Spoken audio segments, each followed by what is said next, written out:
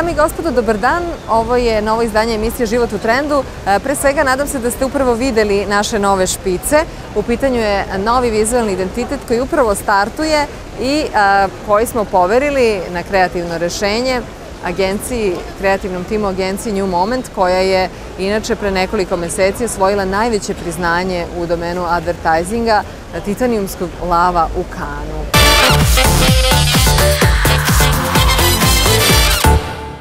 A sa zadovoljstvom mogu da vam kažem da ćete čuti puno interesantnih tema i zapažanja u ovoj našoj emisiji. Jedna od tih tema je da li danas postoje džentlmeni i šta ih odlikuje. Evo šta gospodin Jovan Ćirilov svaki dan pije da bude u boljoj formi. Ne, pa ništa vi ništa silom izvukli iz mene. Da li je i vaš brak bio ovaj, e, ko, uh, ustupak konvenciji? I sine pare smo davali na abortus. Kako posmatrate savremene žene? I nisam za okidanje svih strasti, razumijete. Mi se stidimo svega što je bilo pre 10 godina. Napisali ste testament ima tome više od 10 godina. Nikad mi nije bilo jasno zašto, zašto se ne kažnjavaju ljudi koji pljuju na ulici. 24 sata elegancije. Uzela njegovu pušku i ovaj, ubila se gore na mansardu. Bili ste među prvim e, intelektualcima i ljudima u našoj zemlji koji su se još u davna vremena za vreme Tita zalagali za pravo na istopolnu ljubav.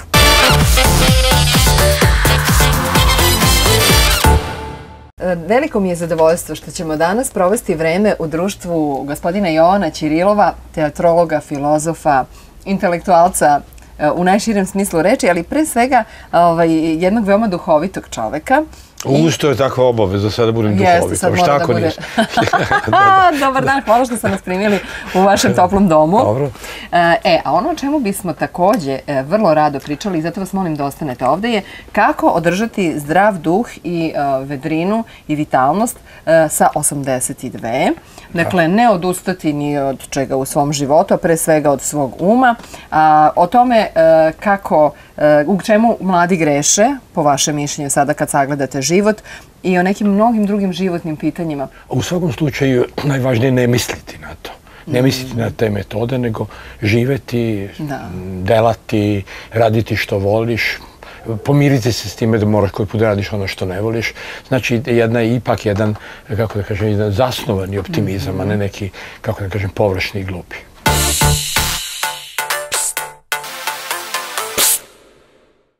Strah od smrti uobičajena je i normalna pojava koja povremeno obuzme svakog od nas. A zašto se on javlja? U okviru kliničke psihologije mišljenja na ovu temu su podeljena. Jedna grupa istraživača smatra da je strah od smrti prirodan fenomen prisutan u svakom čoveku od rođenja pa do poslednjeg dana. Prema njihovom mišljenju, ovaj strah je osnova nagona za samoodržanjem. Druga grupa autora zauzima stav da strah od smrti nije urođen. On se javlja sa razvojem osobe. Oni tvrde da prvu predstavu o smrti stičemo u periodu između 9. i 10. godine a da je za razumevanje smrti kao fenomena ključan odnos koji dete uspostavlja sa majkom ili drugom osobom koja mu je najbliža. Dobar odnos sa majkom stvorit će zdravu osnovu i omogućiti deci da prihvate smrt kao sastavni deo života. Preteran strah od smrti najčešće muči ljude koje odlikuje pasivnost naspram onih koji zauzimaju aktivnu ulogu u kreiranju svog života. Utvrđeno je i da se strah od smrti javlja redovno kod ljudi koji imaju psihološke probleme i kod osoba koje pate od hipohondrije, odnosno straha od bolesti. Pored toga, zabeleženo je njegovo prisustvo i kod osoba sa seksualnim poremećajima, poremećajima spavanja i drugim fobijama, u manjoj ili većoj meri. Međutim, naučnici tvrde da su ovi osjećaji ograničenog trajanja. Posle perioda koji većina autora ograničava na šest nedelja, strah od smrti značajno gubi na intenzitetu. Iako redka, neka od istraživanja na ovu temu pokazuju da žene iskazuju veći strah od smrti nego muškarci. Međutim, stručnici smatraju da je takav zaključak možda posledica činjenice da je ženama lakše da priznaju i otvoreno razgovaraju o toj temi. Istraživanje sa Tajvana, objavljeno u Journal of Pain and Symptom Management, pokazalo je da se strah od smrti zapravo ne smanjuje sa godinama, čak ni kod osoba koje su obolele od neizlečivih bolesti.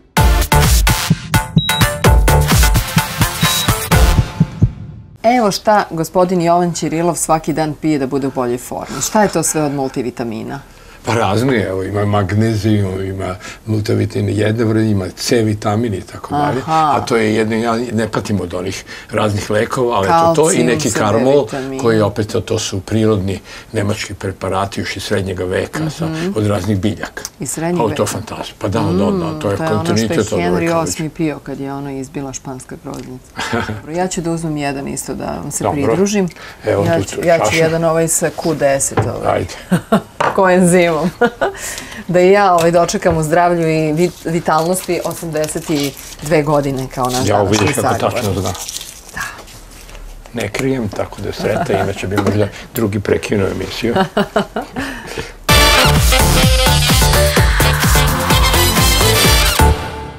A, Jovane, nisam znala da... To ste kao mlađi e, crtali? To sam 18 godina bio u Filip Jakovu.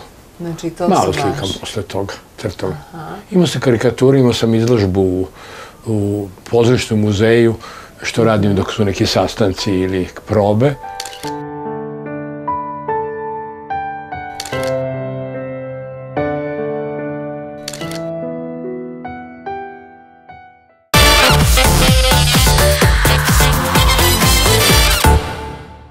Jovane, pretpostavljam da se ovaj, protiv zaboravnosti borite e, pisanjem i stvaranjem. Evo, napisali ste upravo... Memoare, jel? Ne pišem memoare, ali sve to pesme, memoarske pesme neke. Jel živite sami? Sam. Da, ne, niste usamljeni zbog toga, navikli ste pretpostavljeni. Nisam, Dolazi, Evica dolazi svake srede koja radi već 20-30 godina. Obično ljudi u e, starijim godinama koji imaju decu nekako nadaju se i očekuju i najčešće i dobiju od njih neku podršku pa se osjećaju sigurnije. Da, da, da. vi niste imali e, decu. Jednom sam negde u naš, vašem intervju pročitala da, da vam je i žao što se to tako desilo. A to da, to da. A ne, ne tako do bola, nego da. bi, bi lepše bilo da, da. Zato imam dosta ovaj, prijatelja da. i prijateljica mlađih od od Nede Arnerić koje mogu da budem otac, ali jedva. Nemam nikoga starijeg sa, sa kojim se, sa kojim se mhm. družim. Sa ovim životnim iskustvom, šta mislite u čemu ljudi greše dok su mlađi? u pogledu na život, u postupanju? Kada imaju neku ambiciju da u nekačemu uspeju što nemaju, recimo da recimo imaju vjerojatno dar za režiju, a oni bi htjeli da budu glumci ili kad imaju da, da, za slikarstvo, a hoće da budu balerine. Taj, mm -hmm. treba naći, naći sebe i, a i onda u tome malo se treba i konsultovati oni koji su mm -hmm. stručnjaci i to posvetiti se tome.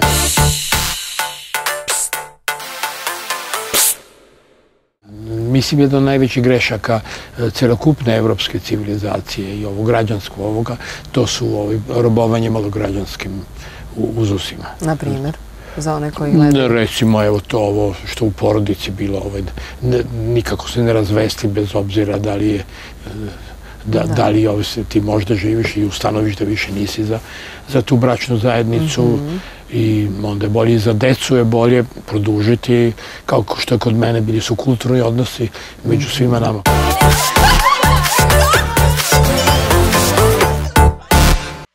Da bi brak opstao, nisu važne stalne izjave ljubavi ili koliko često se partneri svađaju, već posvećenost i stalan rad na vezi, pokazala je nova britanska studija. Naučnici su tokom 11 godina braka pratili 172 para i ustanovili da posvećenost vezu jača i štitije.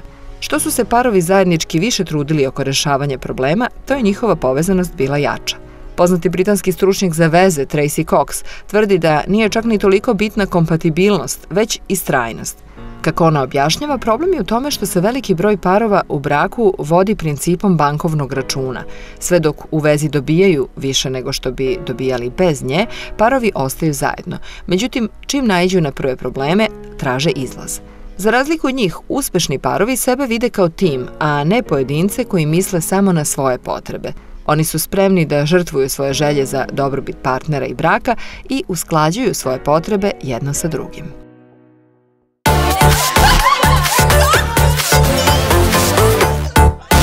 Pretpostavljam da ste ovo vi sa mamom. Da, ovo mi je baka. To je baka, znala sam. To je mamina mama koja izvršila sam ubistvo, a uzbog, zbog ovoga Skota. Zbog ljubavi izvršila sam ubistvo zbog njega? Da, to, je, nije, pa ne, to nije ona je bila njegova žena, njegova žena, ona se zaljubila van braka se zaljubila. A to vam je ipak dela? A nije, ova nije dala, ova prababa nije dala da se da se ona je otišla kod nje, da se razvede, da, da za tog Luku Majinskoga, i ovaj, ona kazala ne, ne, ne dolazi obzir, ona više nije mogla s njim da živi, uzela njegovu pušku i ovaj, ubila se gore u, na mansardi. Mm -hmm. Zbog ljubavi, a kažete, je to njena majka ili svekar ubila? A, ovo je nje, njena rođena majka. Majka, ja. Da. Dobro, to je ta tužna ljubavna priča ovaj, u vašoj porodici. A kažite mi, mama, ovaj, mama je takođe se razvela Da, ona se razvela. I vi ste se razveli, imate pa, tu da, dugu istoriju. Da, tri, ove tri, da, ona se, ona se nije razvela, pa je da, stradala. Da, ona se, nažalost, da, ona se ubila. razvela od života, a, Aha, a mama je bila pametna kada se zaljubila u Nenada mog očuha.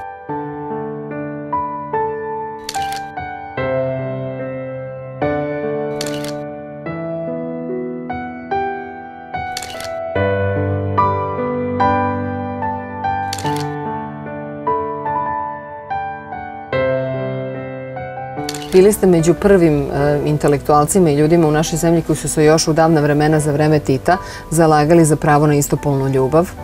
Pa da. Znate Kako vam sad to izgleda? Mislim da je to bio važan trenutak kada sam na kongresu partijskom mhm. ovaj rekao da e, eto, vređaju, povredio se to onda kada je flašom povređen jedan, jedan e, na, na Kosovu, jedan građanin u Kosovu, a i to nije, to nije bilo nije nisu završili ti u zatvoru koji su to uradili, a tada je u zakon, po zakonu bilo da za isto polnu ljubav među muškarcima mm -hmm. i da kažem među dvojicom, nije kažem među dvojljom među dvojicom da, da je bilo predviđeno, ne znam koliko. Istina, istini za volju, mislim da niko nije bio da je to samo postojalo na zakonu. To je, to je s jedne strane, to je jako odjeknulo, to se pričalo, ja sam dao intervju tada za naš play, Playboy, ali smatram uopšte da nisam uopšte postao aktivista te vrste, niti mhm. mislim da čovjek u sredini treba da, da ima neku identifikaciju kao neku polnu identifikaciju kao prvo, kao prvobitnu neku, da. a to je obično u stvarima kao te seksualnosti, obično se no, kako da, sad neka prva asocijacija asocijacija kod nekih ljudi je koga da. oni voli, kako voli, da li voli istopolno ili ne, ili, ili su ne znam, na bilo koji drugi orijentisani. Mm -hmm. ja, sam, ja sam zato da čovek e, e, treba i tu vrstu stvari da radi bez ikakve parade.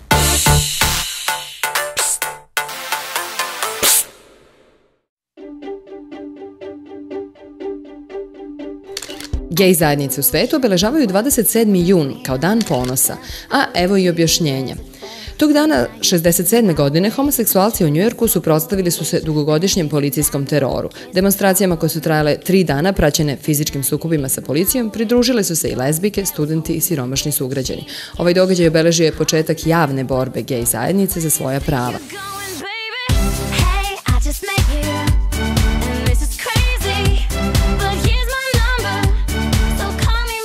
Prema procenama LGBT udruženja i stručnjaka koji se bave ovim pitanjem, broj osoba koje su naklonjene istom polu u Srbiji kreće između 600.000 i 700.000. Taj prosek od oko 10% od ukupne populacije uklapa se u svetske trendove, ali odnos prema pripadnicima ove populacije u Srbiji značajno je drugačiji nego u svetu. Istraživanje o diskriminaciji seksualnih manjina pokazalo je da je dve trećine gej osoba doživelo nasilje zbog svoje seksualne orijentacije, a većina njih život je nastavila bez podrške porodice koja ih je odbacila, uskratila im materijalnu podršku i izbacila ih iz doma. Kako navodi nedeljnik vreme, uzroci homofobije i agresivnog odnosa prema seksualnim manjinama su raznoliki. Neki stručnjaci vide ih u neznanju iz kojeg proističu predrasude, drugi u nesvesno prihvaćenim stereotipima. Kada je u pitanju zakonska regulativa, u Srbiji je od 2002. godine doneto nekoliko zakona kojima se, pored ostalog, štite i prava LGBT zajednice. Među prvima donet je zakon o radiodifuziji, kojim se zabranjuje širenje informacija koje podstiču diskriminaciju, mržnju i nasilje, a zakonom o radu zabranjena je diskriminacija na osnovu seksualne orijentacije pri zapošljavanju. Najznačajniji pravni dokument u ovoj oblasti je Zakon o zabrani diskriminacije iz 2009. godine, kojim se, pored ostalog, zabranjuje svaki vid diskriminacije na osnovu seksualne orijentacije.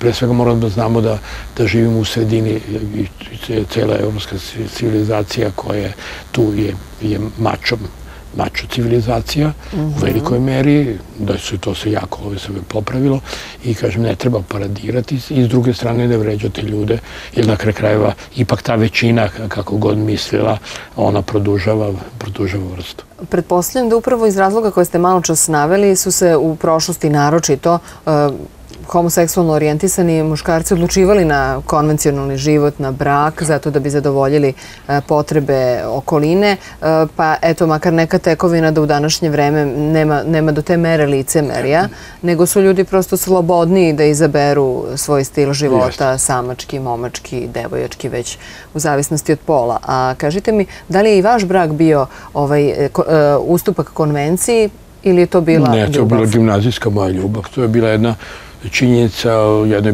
biseksualnosti koja je.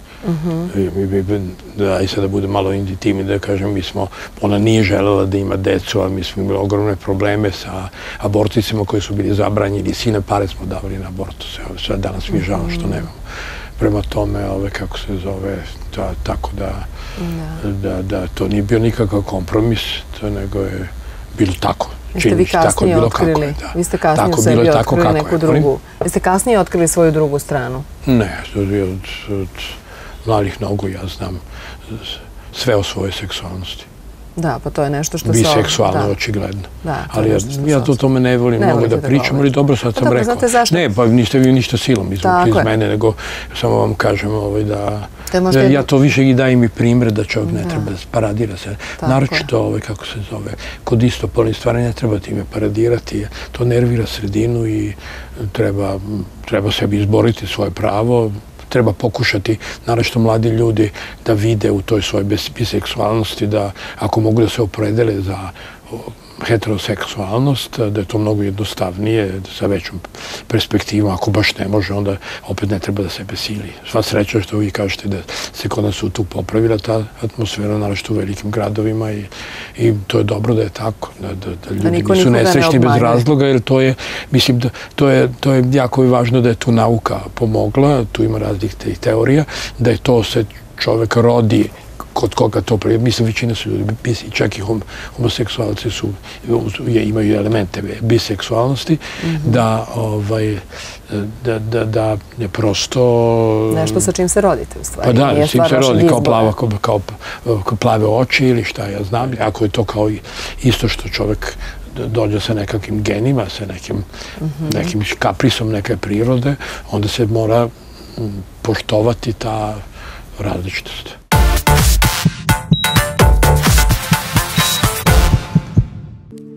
Američka zdravstvena organizacija izbrisala je 1974. godine homoseksualne sklonosti sa liste bolesti, eksplicitno navodeći da sklonost ka istom polu nije bolestni psihički poremećaj. Svetska zdravstvena organizacija skinula je homoseksualnost sa liste bolesti 17. maja 90. godine. Od tada se seksualni čin između osoba istog pola tretira na isti način kao i heteroseksualni odnos, odnosno između osoba različitog pola.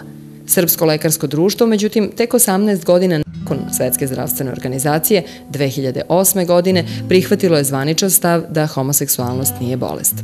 99. godine seksualna prava svrstana su u osnovna i opšta ljudska prava zasnovana na slobodi, dostojanstvu i jednakosti, a 2008. u Ujedinjenim nacijama usvojena je deklaracija o univerzalnoj dekriminalizaciji homoseksualnosti koju je potpisala i Srbija a kojom su države pozvane da štite prava tih osoba i sankcionišu ponašanja koje ugrožavaju njihova ljudska prava.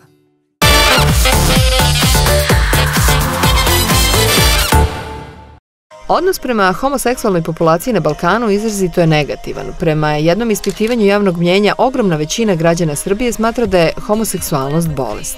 I u regionu odnos prema homoseksualizmu je sličan. Preko 60% građana Crne Gore i približno 70% građana Bosne i Hercegovine smatra da su gej osobe bolesne, a istraživanje rađeno prošle godine pokazalo je da su prve asocijacije koje se vezuju za pripadnike ove orijentacije u najvećem procentu negativne. Najveći broj ispitanika veruje da su sve gej osobe HIV pozitivne.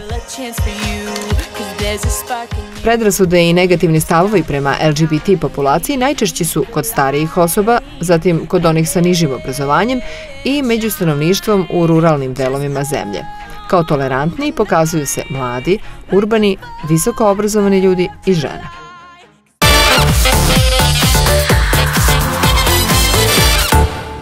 Kako uspevate da se ne plašite smrti? Ja nisam za ukidanje svih strasti, razumijem. Mi se stidimo svega što je bilo pre deset godina. Napisali ste testament ime tome više od deset godina. To je mamizam. Nikad mi nije bilo jasno zašto, zašto se ne kažnjavaju ljudi koji pljuju na ulici. 24 sata elegancije.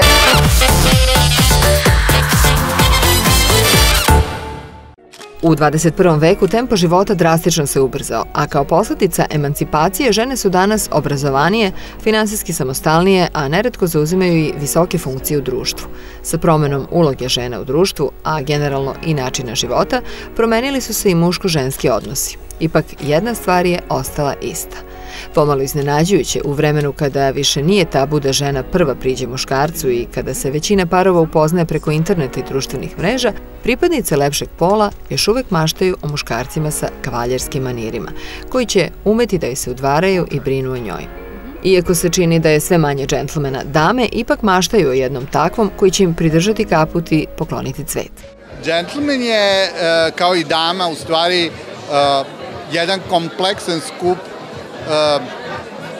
kako bih rekao, više načina na koji se rade stvari nego karaktera, obrazovanja, vaspitanja, mnogo više nego nešto što može da se e, vidi na površini i definiše kategorijama, naročito ne kroz kategorije kao što su novac, e, statusni simbolni. Gentleman je nešto što ste vi iznutra, pre svega da otvaraju vrata devojci kad izlazi iz kola, da otvaraju vrata kad se ulazi negde, e, da ne govore ružne reči u njenom prisustvu, da um, paze uopšte koje teme pričaju, na primjer, vrlo je nekulturno da se spominju godine i da se pitaju, izvinite, koliko imaš godina, da se spominje, recimo, uh, bilo koja tema vezano za neke druge devojke i um, lascivne scene iz, ne znam, bilo kakvog emotivnog odnosa ili bilo šta što se komentariše iz intimnog života njihovog, uh, to je za jednog džentlmena ne, nezamislivo. Da je on s jedne strane savremen, sa druge strane vodi računa da, da ovaj, ako je reč ovaj, o odnosu prema, ovaj, e, prema damama, da, da, da one budu i ravnopravne, znači da imaju mogućnosti da rade i da zarađuju, da ne bude prema njima zaštitnički kao prema nekom da kažem, slabijem, slabijem polu ili manjem biću, nego da im pruži znači, sve mogućnosti uh, ravnopravne, a da opet se u svemu tome sačuva neki stil u, u odnosima i nešto što u krajnju liniji i ženama sajma prija. Muškarci se danas trude da zaista posjeduju određene manire i na taj način da osvajaju žene. Uh, drago mi je što mogu da primetim da malo više uče od starijih muškaraca. Mislim, ne gledam sad nešto naširoko, ali govorim o svom nekom okruženju, o svojim prijateljima, muškarcima, gde zaista, zaista imaju manira. Da će džentlmenski maniri uvek pobediti nad savremenim metodama zavođenja pokazala je najnovija studija u kojoj se 60% žena izjasnilo da kre sebe želi džentlmena. Isto tako, većina žena ne veruje da takvi muškarci danas postoje, Pripadnice nežnijeg pola gotovo su saglasne da su takvi muškarci danas redkost i da, nažalost, pripadaju 50. godinama prošlog veka. Postoje, samo se malo manje vide nego ranije. Ima ih, međutim jako mali procenat. I čak mislim da i oni koji jesu džentlmeni, ovi koji nisu, ima ih mnogo, ih ismejavaju i to podvode pod nemuškost. Pa osim na prvom mestu što poštuju žene, na drugom mestu da imaju i kućno vaspitanje i da znaju određene navike i da znaju kada da popuste i da znaju i kako da se obuku, da znaju da udovolje, da budu fini prema damama na prvom mestu, ono što je najbitnije, to je poštovanje koliko god je naš mentalitet vrlo često osuđivan kao suviše patrijarhalan ili suviše mačistički ili, ili na momente čak diskriminatorski, mislim da postoji uh, taj neki osnovni odnos koji, prema ženama koji se može nazvati džentlmenskim, ali uh, po meni je to nešto što mora da bude prošireno, znači ne samo na žene bez neko sa E, pežorativnom smislu, nego na sve ljude koji su na neki način e, slabiji, koji su manjini, koji nisu u poziciji da, da vladaju. A u čemu je privlačnost muškaraca džentlmenskih manira? Za razliku od današnjih mladića, oni iz 50-ih su bili spremniji da damama pridrže vrata, da ustanu kada osoba suprotnog pola uđe u prostoriju ili da joj ponesu stvari – Isto tako, današnje dame procenile su da su se ondašnji muškarci bolje oblačili, nisu nosili farmerke i patike, nego uredna odela sa kravatom. Iznenađuje i podatak da bi 82% ispitanica radije želelo da im muškarac pridrži vrata nego da ih počasti pićem.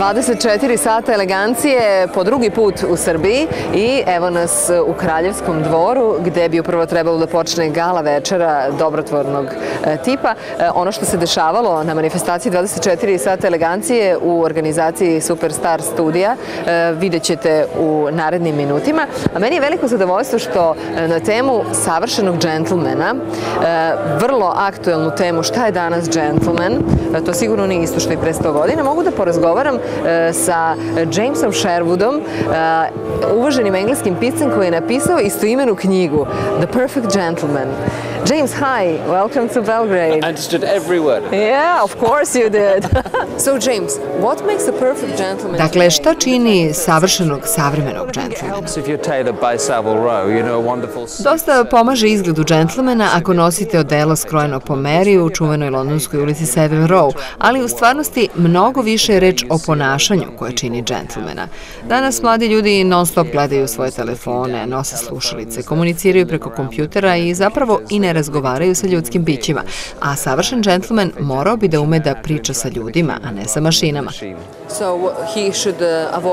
dakle, trebalo bi da izbegava tehniku, gadžete. Ne baš. Teško je izbeći 21. vek i u redu je komunicirati i preko Twittera i preko Facebooka, ali ne činite to dok ste u društvu ili sedite sa svojim prijateljima. To je veoma loš manir. What is uh, the must have Šta bi od garderobe morao da ima savršen džentlmen i elegantan muškarac 21. veka? Na vrhu moje liste je svakako flanelsko odelo, zatim veoma dobre cipele. Dobro skrojena odeća je jako važna jer danas se nažalost svi oblače sportski i na ulicama Londona i Beograda. Možete li da navedete nekog od savremenih džentlmena? Have heard about. Do you know, I think George Clooney is rather a gentleman.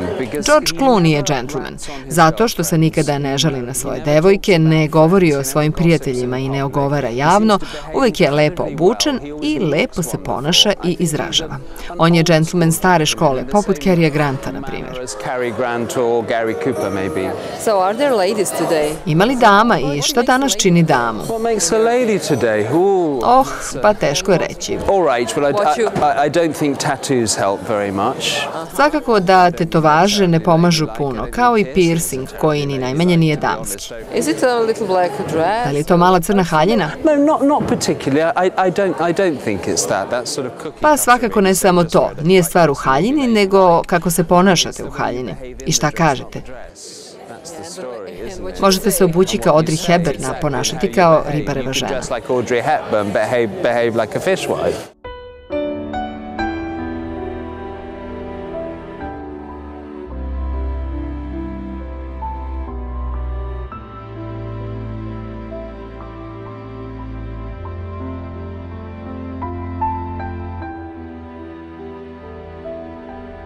24 sata elegancije, evo nas u Kraljevskom dvoru i dalje i zvezda e, ovogodišnje manifestacije u organizaciji Superstar studija, ako tako mogu da kažem zvezda, je britanska e, čuvena kuća Kilgur koja šije odela po meri iz čuvenog e, engleskog londonskog kvarta Savile Row koji je tradicionalno poznat upravo po tome da se tu oblači najveća svetska gospoda od kraljevskih porodica do drugih slavnih, uglednih i bogatih ljudi. Martin, can you tell me... Uh, Martine, šta čini jednog savremenog elegantnog muškarca? I think having your own sense of style. Pa to je sigurno sobstveni smisao za stil. Fashion, Ne treba dozvoliti da vas vodi moda, jer moda se stalno menja i zastareva, ali čovek mora da se osjeća dobro u svojoj koži, da odabere ono što mu dobro stoji, da nosi čiste linije, nešto što mu je po meri, što je dobro skrojeno, ali ne mora to biti visoka moda. Ljudi prave veliku grešku što pokušavaju da budu moderni. You, you follow the herd. A to je čak i skuplje. Um, Tačno, jer se stalno menja. Ali ono što ostaje večno je tamno delo koje odgovara svakom tenu. Klasičan blazer, sportski blazer i kaputić. Moram da kažem da mi u kući Kilgur sa Savile Row nismo u modi, mi smo iznad mode. Jer ako pogledate muškarce sa najviše stila u istoriji, oni su imali svoj stil, oni su ga stvorili. A primjer za to je legendarni Fred Astaire. Pošto je bio plesač, u našoj modnoj kući njemu su specijalno krojili odela po meri koje su dopuštala slobodu pokreta. I još jedna česta greška koju muškarci prave je što pokušavaju da izgledaju mladi. Posle kojih godina ne bi trebalo da pokušavaju da izgledaju mladi? Da li su to oko 35. Pa tako nešto, sredinom 30. Yeah, mid 30s. E,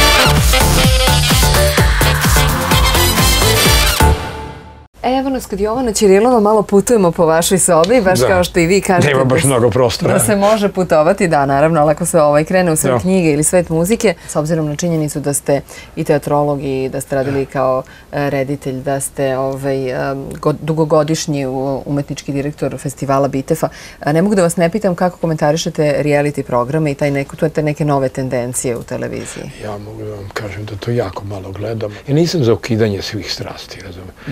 Je, je, kada je u toj meri to kvari ukus jeste, ali, ali ne mogu da budem nešto što, što postoji neka potreba za nečim, da, da ja sad budem protiv toga. Da, to, ja ni- nisam, to- nisam ni u tome, kako da kažem, rigidan. A, Vanja Bulić mi je u jednom intervju a, nedavno rekao kako se brine a on ima svega 63 ili 4 godine, da neće stići do kraja života da završi sve što je zamislio, Da, da, da, da. napiše sve knjige koje je isplanirao, Da. scenarija.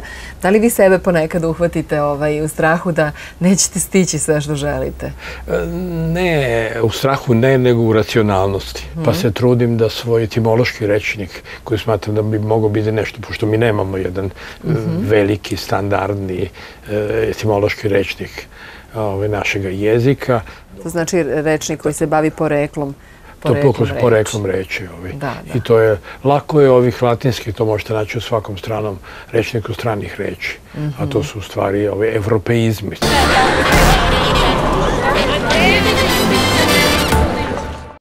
Uslov da nam bude bolje i da budemo bolji je usavršavanje, ali i samokritika.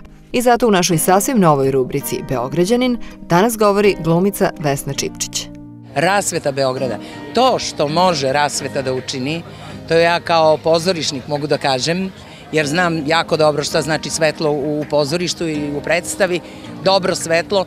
Mislim da rasveta Beograda i samo čistiji Beograd, a onda A onda naravno polako, polako krečiti, umivati ove zgrade koje su stvarne predivne po Beogradu, ali nažalost u tako derutnom stanju i u tako tako, tako ojađene da, da, da je, verujte mi, ponekad me malo i stid ovaj, kad mi dođu u gosti negde sa strane, što je to tako.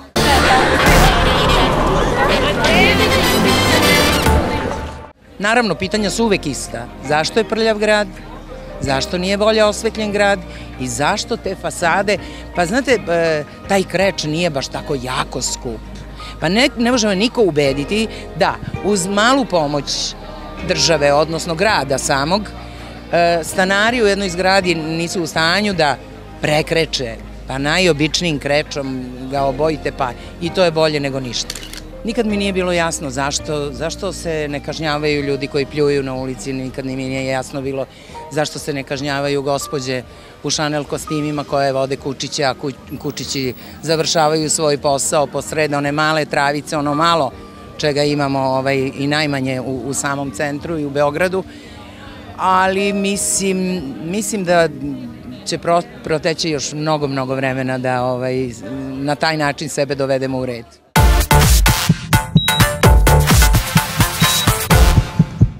Doktorka Vesna Ignjatović se upravo vratila sa petog kongresa dermatologa u Ohridu i tamo ste držali, doktorka, e, predavanje na temu gljivična infekcija na stopalima. Pa kako ste prošli dole, kakve utiske nam donosite iz Makedonije? Ja sam jako zadovoljna učinkom ovog našeg kongresnog izlaganja iz prostog razloga što smo imali čast i zadovoljstvo da među najboljima prezentujemo naše iskustva. Ono što je vrlo značajno i poruka koju smo želeli da pošaljemo, to je da je podologija jedna sasvim nova grana medicine, da se bavi problemima stopala i da na jedan sasvim drugačiji način treba doći do dijagnoze. Ne pogledom, već pregledom a mi u našim podološkim centrima uz pomoć aparata koji se zove skenerskop rušimo sve dileme o čemu se radi i na koji način treba doći do najbržeg e, rešenja problema koji pacijent ima. Na petom kongresu e, dermatologa imali ste jedan veoma zanimljiv slučaj, prikaz jednog u stvari slučaja, pa evo kažite nam o čemu je reč. Ja sam navela prikaz slučaja iz Makedonije gde je jedan pacijent e, nakon pregleda kod eminentnog stručnjaka normalno, dobio diagnozu da se radi o melanomu e, nokatne ploče, odnosno mekog tkiva ispod nokatne ploče. Evo kako je izgledala ta promena, gde jasno vidimo jednu traumatičnu promenu ispod nokatne ploče. Skidanjem nokatne ploče vidimo da se samo radi o istaloženoj, sasušenoj krvi, znači o prisustvu hemosiderina, a ne melanina i na kraju nokat nakon dva meseca u fazi totalne obnove, odnosno regeneracije nokatne ploče. Znači, skenerskopski pregled nudi ne samo tačnu diagnozu, nego i mir pacijentu iz prostog razloga što za vrlo kratko vreme vi vidite da li se radi znači, o zadebljanju nokatne ploče, da li se radi o zadebljanju izazvano gljivicama, da li se radi o nekom tumuroznoj, nekoj tumuroznoj promeni koja je ispod nokatne ploče, ogljivicama koje su uvučene u džepe. Prosto rečeno, znači, skenerskop je isto što i ultrazvuk u ginekologiji. Aparat koji nam daje detaljnu diagnostiku i mogućnost da vidimo ono što golim okom ne možemo videti.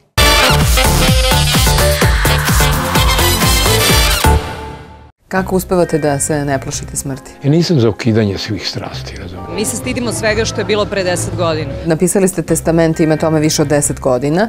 To je mamizam.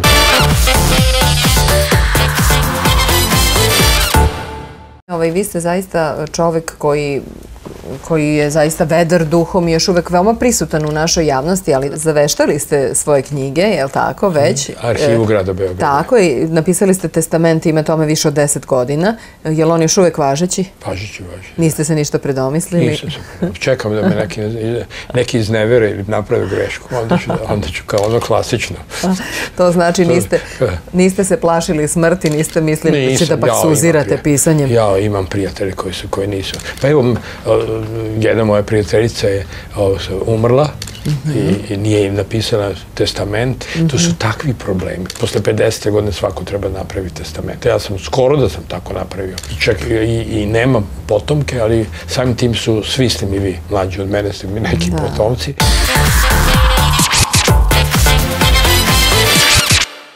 Toliko rečnika i leksikona na određene mhm. teme, sam sasvim siguran da većinu tih mojih leksikona dragocenih nema ni jedna biblioteka.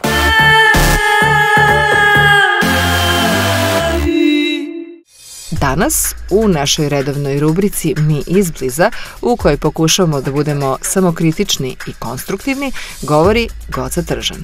Morali bismo da radimo na samokritičnosti pre svega, na obrazovanju, Mislim da obrazovanje je jako važno jer e, u poslednjih aha, već 20 godina ovaj, se čitanje knjiga i obrazovanje stavlja u drugi plan, nažalost. I često sam bila svedok uh, priča, a vaš ga briga ima životnu školu ili boli ga ovo ima kuću na dedenju i tako dalje. Međutim, uh, ipak obrazovanje je nešto što niko ne može da ti uzme. Kuća može da izgori, ali ono što imaš u glavi ne može niko. Srce mi traži novo telo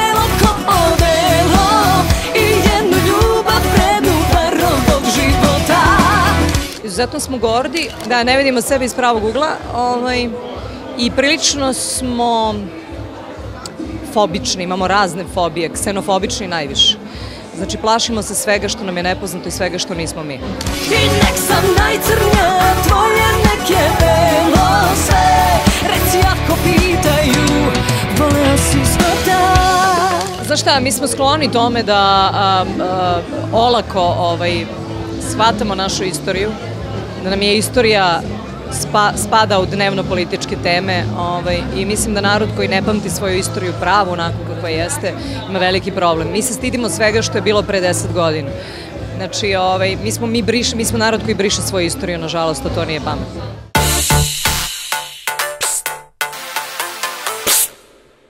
Kako uspevate da se ne plašite smrti? Da ljudi obično mnogo mladi počnu već da imaju strah od smrti. Pa verovatno je to i ne sve nasledno, jer maj, majka je pričala vrlo ovaj, otvoreno o tim stvarima, iako imala, imala je rak u 41. godine, konstantno od, odsećena dojka, ali su lekari rekli da neće umreti od toga. A jako mhm. lepo bilo, onda se, kad smo to se završile, treba da izađe, go, mm -hmm. kaže, gospođo Muco, živećete ove sve de, deset godina, a onda znači ga, to je meni malo. da oni možda iskamče više, ali je živjela mnogo više, 41, znači ne po 51, nego negde preko 80 godina imala kad je umrla. Znači dobra poroka i za sve pa, one. I to nije umrlo od toga, to je tačno, nego od srca. Dakle, može se operisati rak dojke i živjeti do Ali je rekla tog dana, to jutro je rekla, ja ću danas umreti. A, mm -hmm. I ja, ja sam pitao, pa kako mama, sad ću umreti, ništa ti nije gore, znam da imaš srećanu manu, ali ne, ne, ne, osje, ne vidim da se osjećaš nešto, nemaš ti ni napad. Ne, osjećam se nekako drugčije. Mm -hmm. I umrla je stvarno.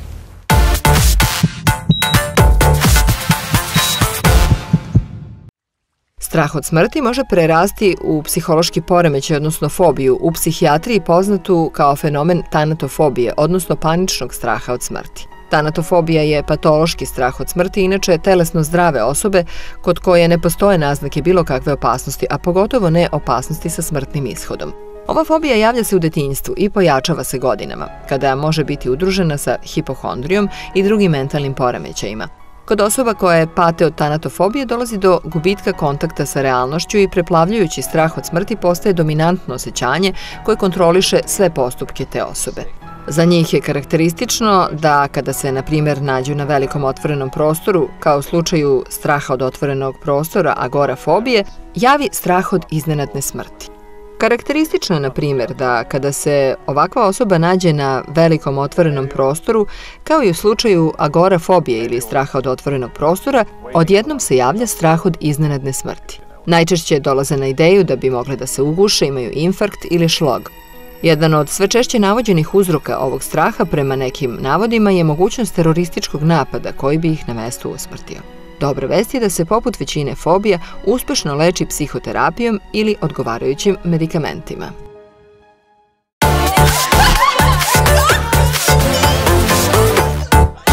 Kako posmatrate savremene žene? Da. Um, One su se mnogo promenile u svakom smislu za vašeg života Dobro. pre, iz predratnog doba, 31. Da. kad ste rođeni pa do danas. Šta, šta mislite da su današnjim ženama vrline, a šta mane? Šta, pa, da li gde su... mi grešimo i onako, pa ja mislim kako da su... nas analizirate? Pa vrlina je jedno osjećanje slobode. To je znači da, da nisu počinjene mužu, nisu počinjene svojim roditeljima, da su otresite, da znaju što hoće, da jako su zainteresovane za kulturu. Ja sad kad idem, kad imamo neke seminare ili kad imamo neke prezentacije knjiga, mm -hmm. tu 80% su, su dame. Mm -hmm. Ajde, su, su dame, žene, ove, ženska bića. Mm -hmm. A ove žene e, sa javne scene, koje su super sređene, mnogo lepo izgledaju, imaju jako malo garderobe na sebi. Je vam da. to bode oči ili nalazite ne, da je to prosto ništa, izraz vremena? Ne, ne bode, pa ne, ne bode me, apsolutno mi ne bode oči, baš, baš mi je prijatno da, uh mhm. -huh. da među onima koji su negovane i uh. -huh. koje su, koje, koje gled na svoju, gledaju na kako, ne, ne samo da se dopale, da, ne da se, da se o, tako se ponašaju da bi se dopale nekom potencijalnom ženiku i mladoženji, nego zato da bi same bile zadovoljne kad se pogleda u gledalo.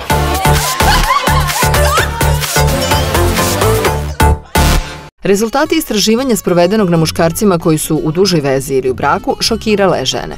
Pripadnici jačeg pola popunjavali su upitnik koji se drži pitanja u vezi sa njihovim partnerkama, a rezultati su pokazali da 39% muškaraca ne zna koji broj grudnjaka nosi njihova partnerka.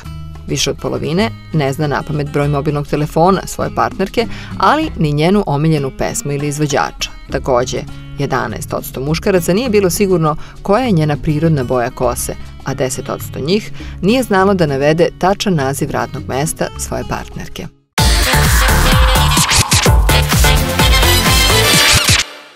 Da, da, ljubomorni muževi obično misle da se žena sređuje za nekog drugog, a ona se pre svega Budale sređuje je, za sebe. Budale bre.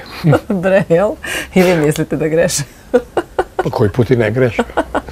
Da. Samo je važno da onoga trenutka kada to ustanove, onda ili da se pomire s tim, da se dogovori nemoj više, ili da se, da se kulturno razvede.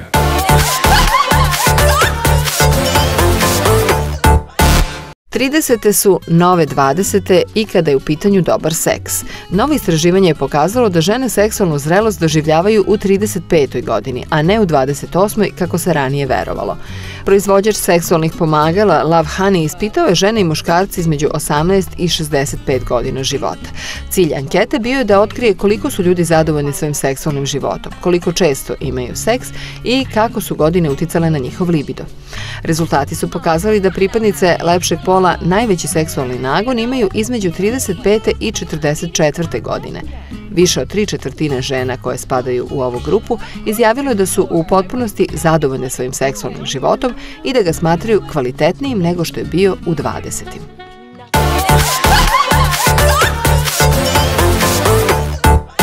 Jovane, moram još nešto da vas pitam o savremenim muškarcima. Rekli ste da, da su žene ovaj, eh, avanzovale, da su da. osvojili nove slobode i da izgledaju fantastično.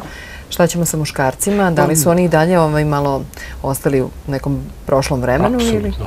Ili? To vaše pitanje sugerira to, ali ona je tačno. Pa ne, ne, ne, ne smete mi, ja mogu da, da ga negiram, nego Aha. zaista je tačno. Evo, baš je dobro da vi svoje ženske perspektive, a ja i svoje perspektive vidim ove da su daleko konzervativni, konvencionalni, veći malograđani, uh, tako manje, manje mhm. shvataju savremeni svet, manje su, manje su u trendu mm. nekog velikog sveta. Šta je to što, gde najviše greše? Šta bi najviše trebalo da promene? I svi su mamini, mamini sinovi s druge mm -hmm. strane.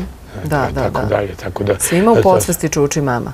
Pa ono, pa da, da opere, da popegla da, i da čeka uvek kod kuće. E da, to da hoće da ponovi ženi da im se ponovi njihova mama. Da, da, ali da, da, mnogi nisu toga ni svesni, jel da? To je mamizam tu u Italiji ima, pošto smo je, da. Španci donekle, Italijani i mi smo najviše, to verovatno i Hrvati. Da, da, da, znači... I Crnogorci, da to ne Da, govorim. to je taj Oni su poseban slučaj. Crnogorci to velika priča.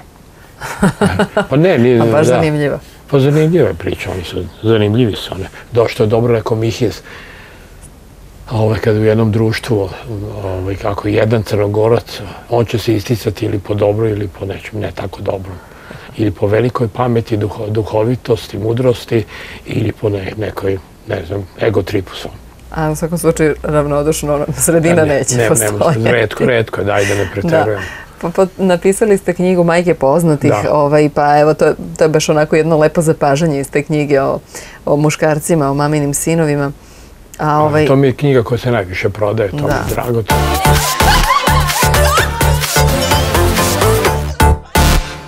Iako priznaju da i oni osjećaju pritisak za što boljim izgledom, savremeni muškarci nisu nezadovoljni svojim telom kao većina pripadnica nežnijeg pola. Naprotiv, iako ne smatraju da izgledaju toliko dobro poput hollywoodskih zvezda, prosečni muškarci smatraju da su bolji frajeri od barem pet muškaraca iz svoje okoline. Prema najnovijoj studiji, muškarci svoj odraz u ogledalu proveravaju bar pet puta na dan, a jedan od četiri ispitanika tvrdi da za svojih pet minuta pred ogledalom mora da se izbori sa partnerkom koja se takođe ogleda pre izlaska iz kuće. Zanimljivo je da polovina učesnika istraživanja veruje da se sviđaju barem jednoj devojci ili supruzi svog prijatelja. Takođe, četvrtina muškaraca misli da izgleda bolje od svojih nežnijih polovina.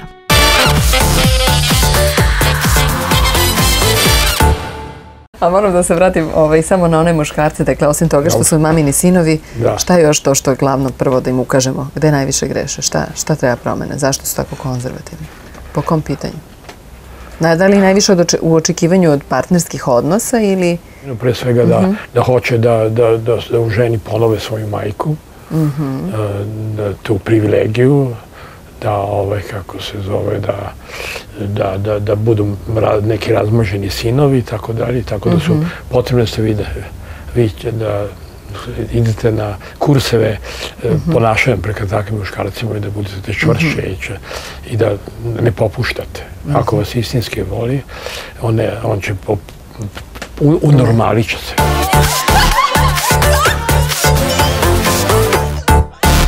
Jovane, puno vam hvala što ste danas bili sa nama u emisiji Život u trendu. Ja bih vas samo za kraj molila za vaš recept za srećan život.